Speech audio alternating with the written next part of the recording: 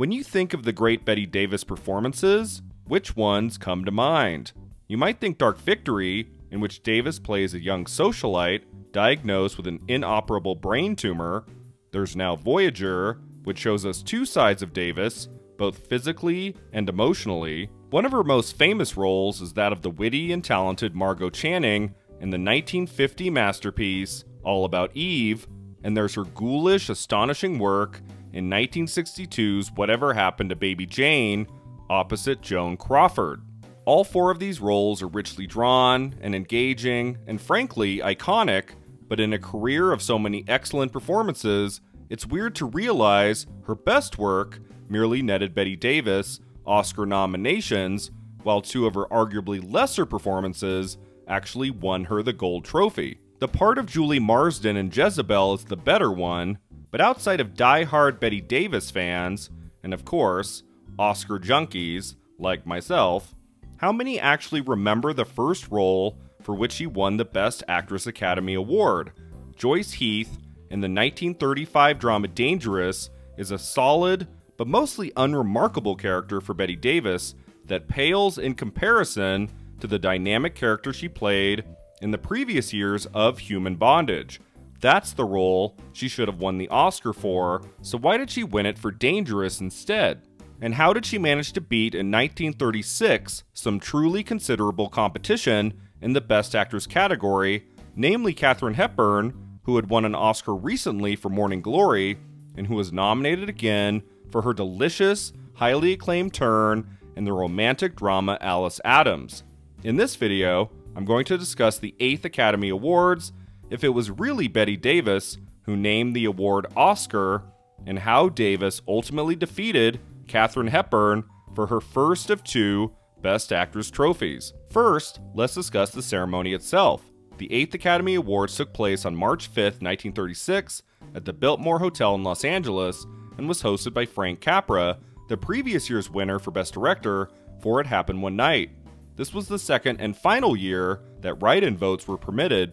As I talked about in my last early days of Oscar video, Bette Davis's name was left off the ballot for Best Actress, and such an uproar was caused that Academy President Howard Estabrook made the announcement that Academy voters could write on the ballot his or her personal choice for the winner. And in 1936, for the one and only time, a write in vote actually won an Oscar, A Midsummer Night's Dream, which didn't officially make it into the Best Cinematography category, got enough write in votes for Hal Mohr to take the prize. Imagine the chaos there would be today if write in votes were still allowed. Maybe Toni Collette could have been an unofficial nominee for Hereditary. The 8th Academy Awards definitely had its share of controversy, namely that after the formation of the Directors Guild, its members that year joined with the Actors and Writers Guild to boycott the event, many in protest of the Academy's unwillingness to intercede on behalf of union demands. Thus, the ceremony didn't have as many famous faces as usual, Academy membership dropping from 600 to only 40, so studios sent their office staff, switchboard operators, and gophers in a last ditch effort to fill the room. In 1936, we got a new category one that would be fairly short lived, Best Dance Direction, which was discontinued two years later. Best Art Direction went to Richard Day for The Dark Angel. Best Film Editing went to Ralph Dawson for A Midsummer Night's Dream. And Walt Disney won yet another Oscar for Three Orphan Kittens in the cartoon short subject category. Despite its eight nominations, Mutiny on the Bounty became the last film to date to win only Best Picture and nothing else, Irving Thalberg collecting his trophy just months before his untimely death at age 37 from pneumonia. At $2 million, Mutiny on the Bounty was the most expensive film ever made up until that time, and the critical and commercial love for the movie was right there from the start. A whopping 12 movies were nominated for Best Picture that year, including Broadway Melody of 1936, David Copperfield, and Top Hat. Another nominee for the top award was The Informer, which is most notable for two things. It was the first film to financially benefit from an Academy Award, making its money back at the box office within days of its wins, and it was also the first film for which the great John Ford would win a Best Director Oscar. To date, Ford is still the person with the most Best Director trophies with four. He would later win for The Grapes of Wrath, How Green Was My Valley, and The Quiet Man. In the 1936 Best Director category, Ford beat out Henry Hathaway for The Lives of a Bengal Lancer, Frank Lloyd for Mutiny on the Bounty, and Michael Curtiz in a write in vote for Captain Blood. His biggest competition here was probably Lloyd, since Mutiny on the Bounty won Best Picture, and Academy voters clearly liked his work, awarding him the Best Director trophy twice before for The Divine Lady in 1930 and for Cavalcade in 1934. The Informer did very well at the ceremony that year, also winning Best Scoring, Best Adaptation for Dudley Nichols, who initially declined the award due to a dispute between the Writers Guild and the Academy of Motion Picture Arts and Sciences, and Best Actor for Victor McLaglen, who beat out Clark Gable, Franchot Tone, and Charles Laughton, all for Mutiny on the Bounty, plus Paul Muni for Black Fury in a write-in vote. McLaglen gives a terrific performance in the film about an Irish rebel in 1922 who informs on his friend and then later regrets the decision, but McLaglen most likely won this prize due to the three actors from Mutiny on the Bounty splitting the vote. Now it's time to talk about that year's extraordinary Best Actress race, filled with great talents top to bottom. Before we discuss how Bette Davis beat Katharine Hepburn for the award, let's look at the other nominees. First up is Elisabeth Bergner in Escape Me Never, a drama about a married composer who has a fling with an heiress who is engaged to his brother. This was the film's only Oscar nomination, and it was also the only Oscar nomination for the Austrian British actress Bergner, whose acting career began in Berlin and Paris before she moved to London to make films. After Escape Me Never, she went on to appear in the 1936 film As You Like It and the 1970 horror film Cry of the Banshee opposite Vincent Price. Bergner could also be considered the inspiration for All About Eve, as reportedly she relayed an experience about working in the theater to the writer Mary Orr, who then wrote the short story that gave birth to Eve Harrington, the iconic character from the classic 1950 Joseph L. Mankiewicz film starring Bette Davis. Yes, in some small way, apparently Davis and Elisabeth Bergner had another connection than the Best Actress race of 1936. Next up is Merle Oberon, who was nominated for her performance in The Dark Angel about a woman who accepts a marriage proposal from one of her two childhood friends while the First World War threatens to change their lives forever.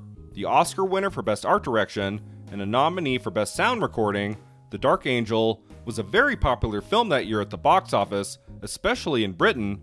Andre Sennwald in the New York Times saying, Oberon plays her role with skill and feeling.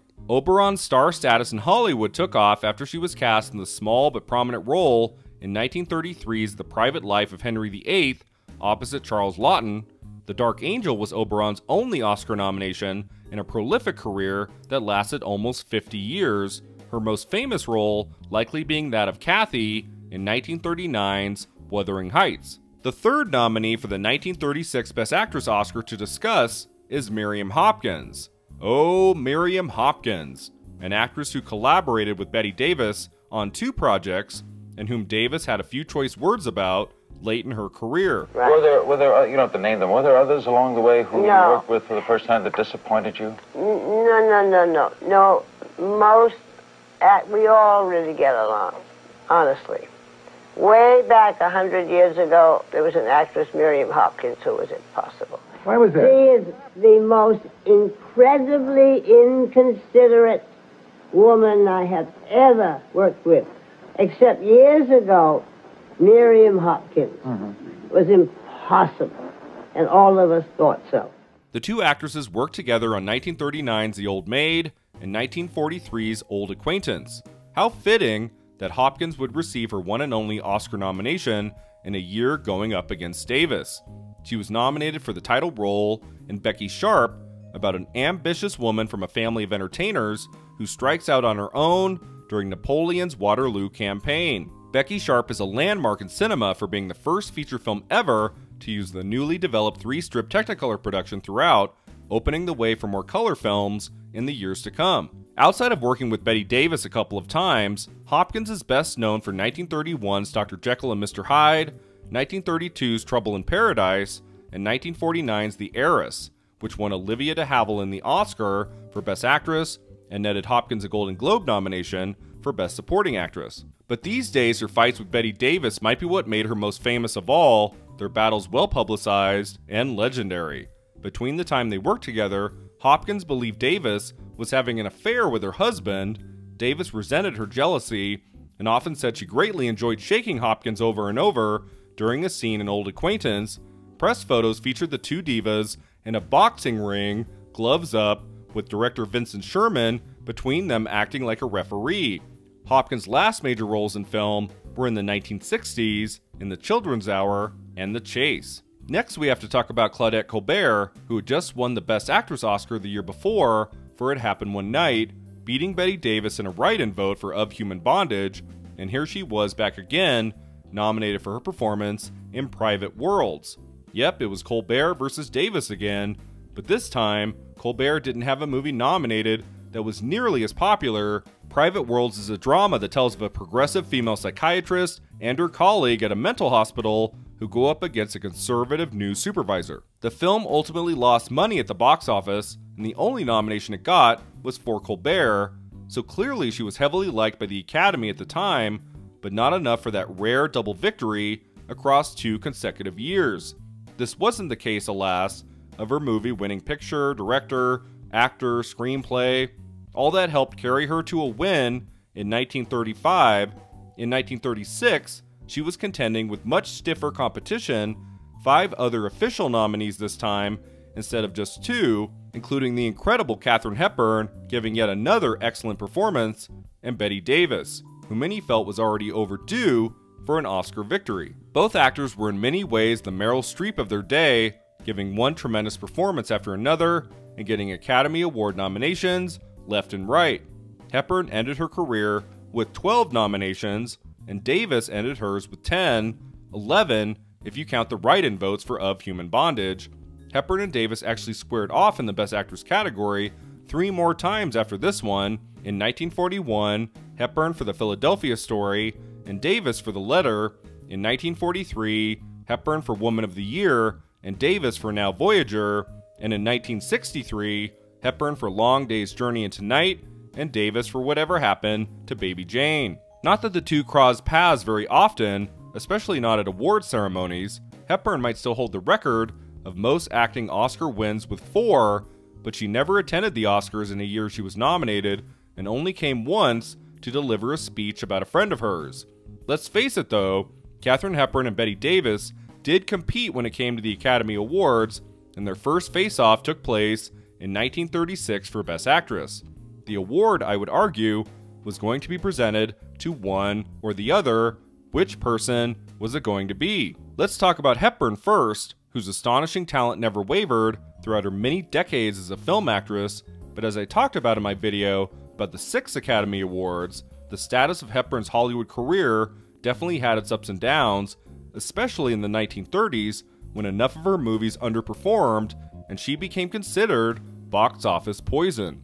After a strong start with Little Women and Morning Glory, the latter film earning Hepburn her first Oscar for Best Actress in 1934, Hepburn made some flops like The Little Minister and Break of Hearts. Many of her other films later in the decade underperformed too, but a rare hit for Hepburn at the time, both critically and commercially, was 1935's Alice Adams, about a working class girl who struggles to climb the social ladder with interference from her family, especially her unstable father. Now, what can have been in Cook's mind not to have made an aspic instead of a heavy entree for weather like this?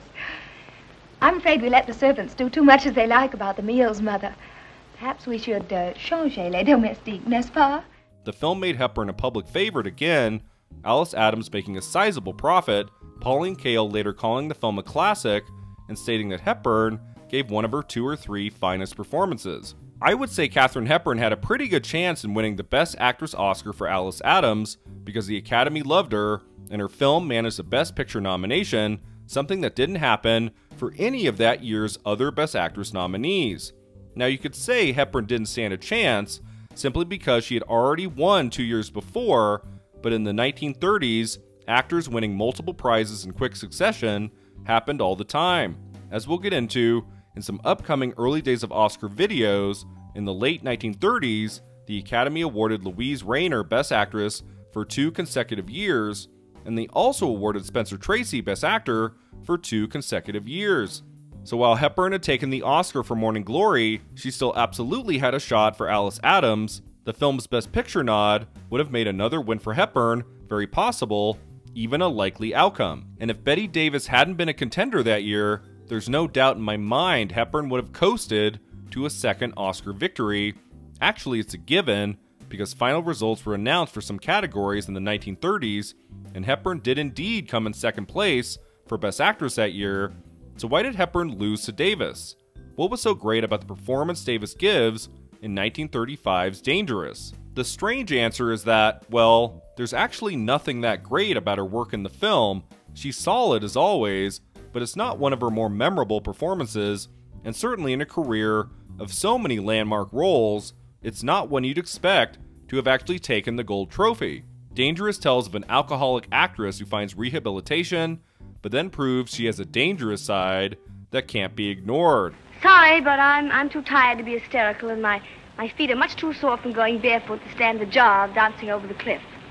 Bette Davis originally turned down the script, not seeing much of a character to play, but Warner Brothers studio production chief Hal B. Wallis convinced her to reconsider telling her she could make something special out of the character. Franchot Tone, who also received an Oscar nomination at the 8th Academy Awards for his performance in Mutiny on the Bounty, was borrowed from MGM to be the male lead of Dangerous, and Davis was immediately drawn to him, despite his being engaged at the time to Joan Crawford.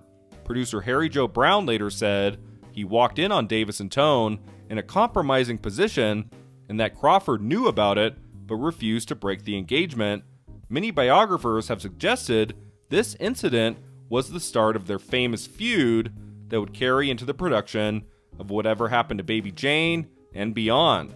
Dangerous received mixed reviews from critics, the New York Times writing, except for a few sequences where the tension is convincing, Davis fails in her performance, and Variety writing, Davis's performance is fine on the whole, but has a few imperfect moments. So yeah, there wasn't much excitement for the movie or for Davis this time around, so why the hell did she win the Academy Award? Well, if you happen to watch my last early days of Oscar video, Claudette Colbert versus Bette Davis, let's just say there was a lot of outrage about Davis being passed over the year before for an Oscar nomination for Of Human Bondage, which many considered the finest female performance ever put on film. And so I'm pretty sure Davis could have given an average to good performance in pretty much any movie the following year and still won the Academy Award, which she did for Dangerous. Davis herself considered her first victory in the Best Actress category nothing but a consolation prize for what had happened the year before with Of Human Bondage, and she felt Katharine Hepburn should have won for Alice Adams instead. It's happened so many times since that inevitable consolation prize especially for actors who've amassed a ton of Oscar nominations without a victory. Think Geraldine Page finally winning an Oscar after eight nods for The Trip to Bountiful, and Al Pacino finally winning an Oscar after eight nods for Scent of a Woman, and then think about Glenn Close finally winning an Oscar after eight. Oh, wait, scratch that one. But yeah, back in 1936, there was a lot of love for Bette Davis for the great work she was doing in movie after movie, and for her remarkable turn in Of Human Bondage that didn't get officially recognized by the Academy the year before. So Katharine Hepburn and all the others nominated for Best Actress were going to have to sit this ceremony out, leaving Bette Davis the winner. The presenter of Best Actress, D.W. Griffith, reportedly said to Davis at night, You don't know how lucky you are, young lady, at your age, to be where you are, making all that money, fame, and everything. Very pleased everybody who's voted for me in the Academy, and all the people all over the country who have wished this year that I would get it. Davis nodded to the man, and she put on a happy face when she collected her trophy, no matter her feelings about why she earned it. And what did she do next? She walked out of Warner Brothers the very next day and demanded better scripts before she'd return to work. As we reach the end of this video, we also have to ask the question was it Bette Davis that named the Academy Award an Oscar? There have been conflicting reports for years. Davis has claimed that the name derived from her observation that the backside of the statuette looked like that of her husband at the time, Harmon Oscar Nelson. Some doubt this story because why would she go with her husband's middle name? as opposed to Harmon or Nelson. By all accounts, there are two other people who might have given it the name of Oscar.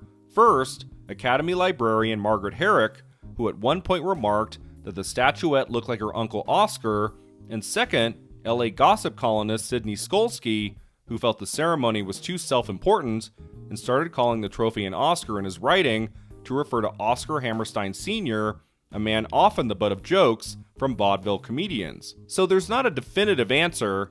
I like to believe it was Bette Davis who came up with it, since her name was so synonymous with the Oscars for so many decades. Believe what you want to believe, no matter who came up with it. At the end of the day, Davis did win two Oscars in her spectacular career in film, the first for Dangerous, a consolation prize, let's face it, and the second, just three years later, for the costume drama Jezebel. But more on that Best Actress victory, and so much more on the incredible Bette Davis in the months to come. Thanks so much for watching. If you enjoyed this video, don't forget to like and subscribe, let me know in the comments below who you think should have won Best Actress at the 8th Academy Awards. Was Bette Davis the right choice, or should Katharine Hepburn have taken this one? See you next time!